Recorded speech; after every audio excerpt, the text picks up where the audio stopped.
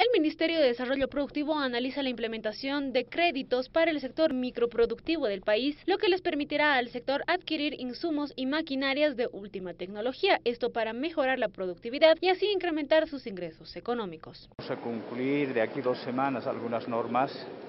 Uno es que un fondo de créditos va a crearse de acuerdo a la ley que se ha aprobado año pasado, para que podían eh, comprar insumos, materias primas, maquinarias, equipos, un crédito con bajo interés.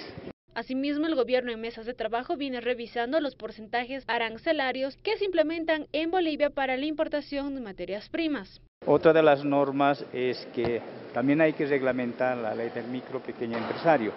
Se está trabajándose también aquí paralelamente estas dos normas. Con el sector privado se ha trabajado con las empresas grandes, ¿no?